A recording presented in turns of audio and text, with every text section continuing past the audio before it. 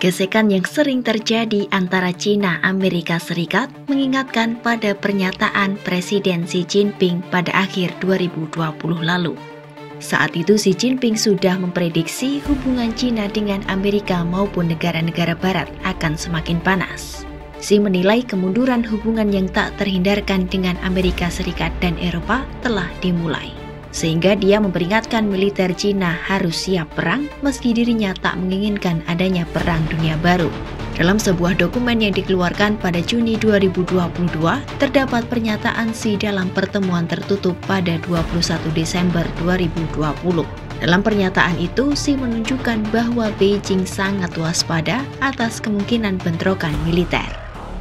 Dalam dokumen itu juga tertulis, Xi menekankan pentingnya militer Cina agar mempersiapkan diri untuk pecahnya perang dan reaksi berantainya.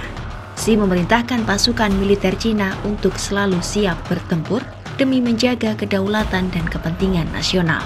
Adapun peringatan Xi itu disinyalir dibuat atas ketegangan di Selat Taiwan yang melibatkan Amerika Serikat. Pernyataan Xi pada pertemuan 21 Desember 2020 itu kini terjadi. China berkali-kali menunjukkan kekuatannya untuk merebut kedaulatan Taiwan. Karena menurut China, Taiwan adalah provinsi pemberontak yang harus disatukan bahkan dengan paksa jika diperlukan. Akan tetapi, Amerika Serikat terus ikut campur. Kondisi itu ditambah dengan hubungan China-AS yang sudah memburuk secara signifikan pada Desember 2020. Tepatnya saat pemerintahan Donald Trump mengkritik tajam Cina atas penyebaran virus corona. Ketegangan kedua negara itu pun kian memuncak dari waktu ke waktu. Pada 2022, hubungan AS Cina mengalami krisis yang dipicu oleh Ketua DPR AS Nancy Pelosi yang melakukan kunjungan ke Taiwan.